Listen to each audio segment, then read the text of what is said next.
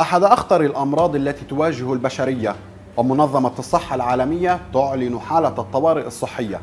ليست كورونا ولا الحصبة ولا حتى الطاعون. إنها جدري القردة. فكيف يمكن الوقاية منها؟ أعلنت منظمة الصحة العالمية قبل أيام بأن مرض جدري القردة يشكل حالة طوارئ صحية عامة.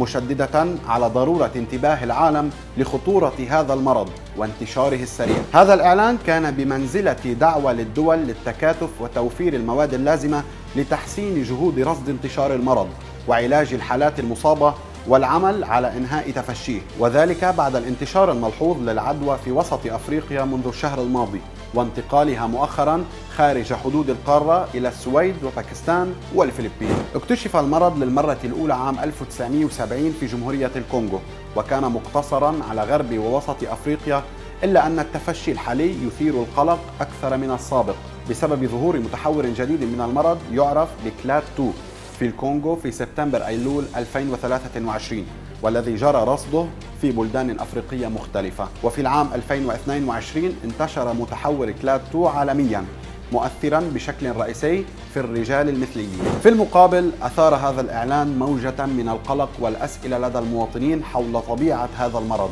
وأعراضه ومدى توافر العلاجات اللازمة له وما الذي يجب علينا فعله لتفادي الإصابة به. جدر القردة هو عدوى فيروسية تنتشر بين الناس عبر الأشياء والأسطح التي يلمسها شخص مصاب بالمرض حيث تظهر الأعراض الأولية في صورة حمى مفاجئة وقشعريرة وآلام في الجسم تستمر لبضعة أيام ومن ثم ظهور طفح جلدي يبدأ على الوجه ينتشر إلى بقية أجزاء الجسم مثل باطن اليدين والقدمين وعلى الرغم من أن أعراض جدر القردة غالبا ما تكون خفية فإنه قد يكون مميتا للأطفال وضعيفي المناعة وكبار السن فوق ال 65 عاما.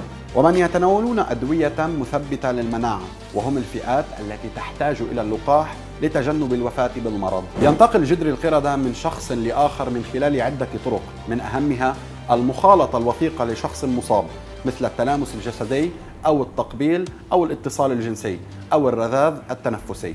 وبالإضافة إلى الاتصال المباشر يمكن أن ينتقل الفيروس عبر الاتصال غير المباشر لأن الفيروس يبقى على الأسطح والأشياء الملوثة لفترة مما قد يؤدي إلى انتقال العدوى. هذا المرض الخطير يستوجب اتخاذ الاحتياطات اللازمة ورفع مستوى الوعي لدى المواطنين وضمن المجتمع الواحد. وبحسب أستاذ الصحة العامة وطب المجتمع بكلية الطب بجامعة بني سويف تامر حفناوي رغم أن جدر القردة مرض فيروسي ينتقل عن طريق الرذاذ فإن احتمالات انتشاره أقل من فيروسات الإنفلونزا وتكون فترة حضانة المرض من 6 إلى 14 يوما وللأسف يكون الشخص معديا خلال هذه الفترة وقبل ظهور الأعراض وهنا تكمن الخطورة. هذا الأمر يستوجب ضرورة عزل المصاب والتعامل معه بحرص شديد. بالإضافة إلى ممارسة النظافة الشخصية خصوصا بعد التعامل مع المواد أو الأسطح التي قد تكون ملوثة وتجنبها وتنظيف وتعقيم الأسطح بشكل دوري.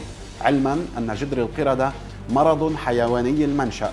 لذا فمن الضروري أخذ هذا الأمر بعين الاعتبار عند وضع خطط الوقاية واتخاذ تدابير وقائية عند التعامل مع المصادر الحيوانية للمرض.